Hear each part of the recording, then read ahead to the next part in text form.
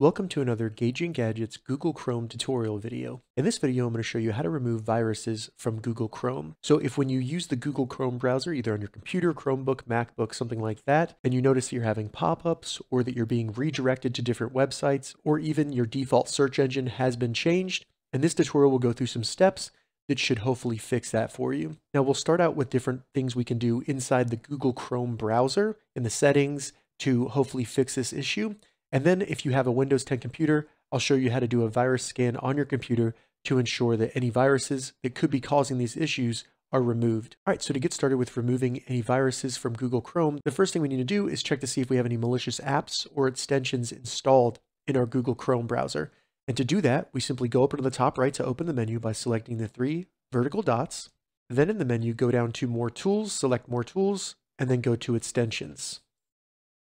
So this right here will be a list of all the extensions we currently have installed in the Google Chrome browser. And when you're in here, you want to look for any extensions maybe that you don't recognize, you don't remember installing, or you don't use. Anything you don't use often should be removed because that could be causing an issue. Once you find the extension you want to remove, simply select remove. And then right here, before we actually select remove, simply select report abuse. This will let Google know that that extension is abusive and maybe malicious, and they'll investigate it further. Once you select report abuse, go ahead and select remove to remove this extension from your Google Chrome browser. So this is just an example with Google Keep, but I'll go ahead and remove it.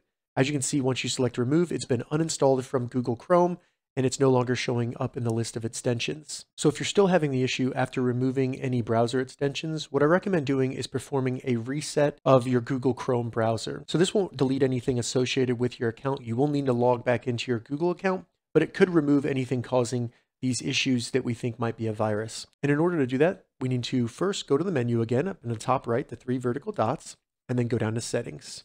This will open up the settings on our Google Chrome browser. Once you're in the settings, go in the left sidebar, select advanced, and then select reset and clean up. Then we just want to select the first option for restore settings to their original defaults. And as you can see, this will reset the Chrome settings. It'll disable extensions and then it will delete some cookies and other temporary site data.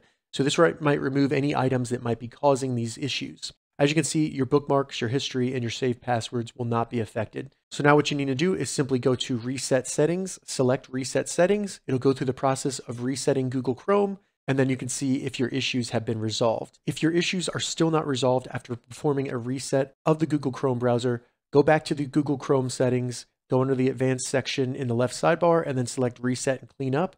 And what we're going to do now is use Google Chrome to perform a virus scan on our computer or MacBook. Now this will not work on a Chromebook, but if you do have a virus on your Chromebook, check the description because I will have a tutorial covering that as well. So what we want to do is select cleanup computer under reset and cleanup, which is the area of the settings we were in before to do a reset. Once you open up cleanup computer, as you can see, it says find harmful software. So it's basically going to scan your computer for any software that it might identify as causing issues or being a virus. You also have the option to share anything that it finds with Google. I'm going to go ahead and turn that off for privacy reasons. But once you are ready, go ahead and select find. It's going to check your computer for harmful software. This might take a couple minutes. And when the scan is complete, if it says no harmful software found, that means it didn't find a virus. But if it did find any harmful software, it'll go through the steps of helping you remove that. Now, the final step to removing any viruses from Google Chrome is going to be limited to Windows 10 computers. I'm going to show you how to do a virus scan on your computer so that you can see if you have any viruses that may be affecting your Google Chrome browser. Now, if you're on a MacBook and you want to do a virus scan, check the description because I'll have links that'll help you do that. So on our Windows 10 computer, what we need to do is go down to the bottom left with the Windows Start button down here, right click it, and then go to Settings. Once the settings open, scroll down to the bottom where it says Update and Security, select that. And then in the left sidebar, we want to select Windows Security. Once we're under Windows Security, find Viruses and Threat Protection, go ahead and open that up. And then in here, we have a couple different options for performing a virus scan on our computer. You can do a quick scan, but what I recommend doing is selecting Scan Options, then going down and selecting Full Scan right here.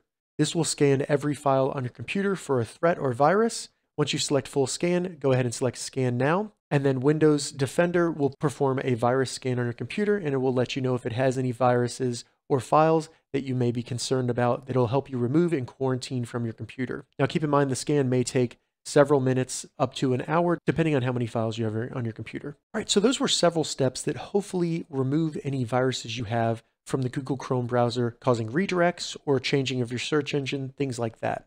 If you have any questions about this, leave a comment below. I'll get back to you as soon as I can. If you'd like to see more Google Chrome tips and tutorials, check the links in the description. If this video helped you, give it a thumbs up, and please consider subscribing to my channel, Gauging Gadgets, for more gadget reviews and tech tutorials.